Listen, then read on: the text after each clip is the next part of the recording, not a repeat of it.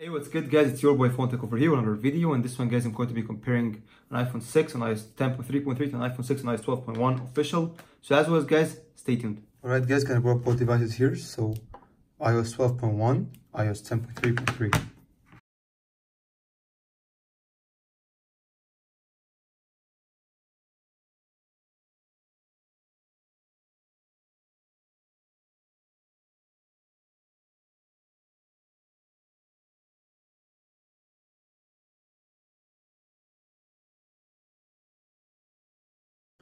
Alright, iOS 12.1 was actually faster than 10.3.3 and there seems to be some difference. So good stuff there, jumping into the phones. Smoother than iOS 12. So guys, both phones here have nothing running in the background. So I'm to start with calendar. That was faster than iOS 10. Camera, iOS 10. Sadly, maps. iOS 10 again. Clock, same weather app that goes to identical phone exact same safari phone support. Just gonna hit the apple logo here. And that seems slightly faster now it's 10.3.3 app store. That was faster now it's 10 iTunes Store. Definitely iOS 10. Next up, settings. And guys, this phone shows the update because it's it has a developer beta uh, 12.1.1, but it's on 12.1 currently. So now guys, going for some third-party apps, starting with Geekbench 4. Wow, that was exactly the same. Nice. Leaving. Going for Mario Run.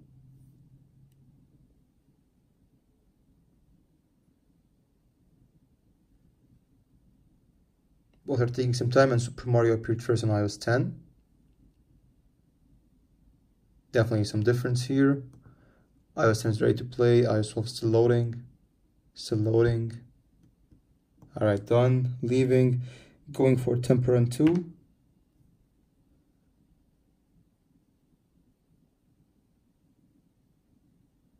Okay, definitely bar appeared first on iOS 10.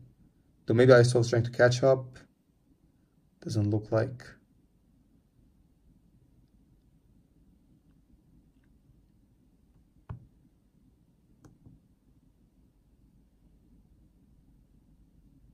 Wow. Leaving going for subway surfers. I mean launching apps feels smoother on iOS 12 but then iOS 10 is faster loading them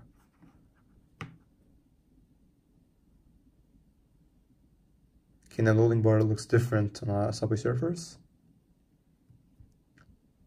Definitely iOS 10 wins here.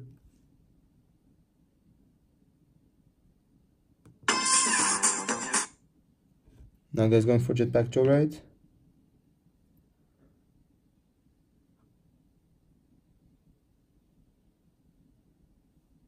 Now iOS 10 seems faster again Wow, some difference.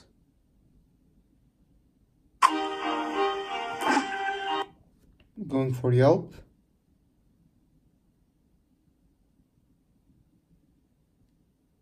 That was fast noise. 10. Leaving. And find it funny that this phone is one minute behind. It's showing the time here. Doesn't make sense. Google Earth.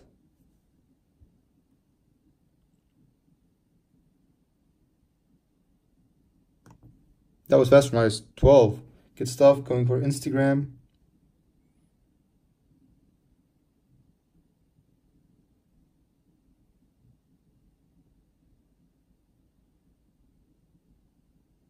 Definitely 10 wins here, loading, going for YouTube.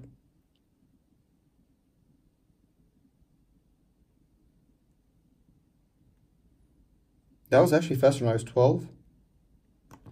Leaving going for Facebook. Again, that was faster when I was 10. The difference was minimal, to be honest. Here, so Snapchat. Wow, that was really laggy on iOS 10, but did catch up at the very end. Now, guys, for camera management, Snapchat. Facebook, YouTube, Instagram. Wow, Instagram had to refresh nice 12.1. Oh, I had to refresh on both devices actually. Google Earth, solid. Yelp, both doing good. Jetpack Joyride, nice. Temple Run 2, okay. iOS 12 had to refresh, both had to refresh. Subway Surfers, seems like, nope. iOS 10 successfully kept in the background, iOS 12.1 failed. Mario Run, okay, both had to refresh. Geekbench 4, both had to refresh. This one froze. Settings, I'm not sure about this one. Definitely iOS 12 had to refresh though. iTunes, both had to refresh. App Store, both had to refresh. Phone, both, no, actually iOS 12, iOS 10 didn't have to refresh here. It was just iOS 12. Clock, both had to refresh. Maps, both had to refresh. Camera. Finally, calendar. So definitely iOS 10 is better in RAM management than iOS 12.1 sadly. Now guys going for Geekbench 4 test. Alright guys, both phones are done here, but guys I want to say that the single core iOS 10 was actually better in iOS 12.1. Weird, usually it's not the case. Usually iOS 12 is always better in both single and multi-core. And you can see though multi-core was better in iOS uh, 12.1, but I'm disappointed with single core since it's more important guys when you're opening like uh, normal apps like Facebook, Instagram, WhatsApp, I don't know, playing some some basic games, you use a single core.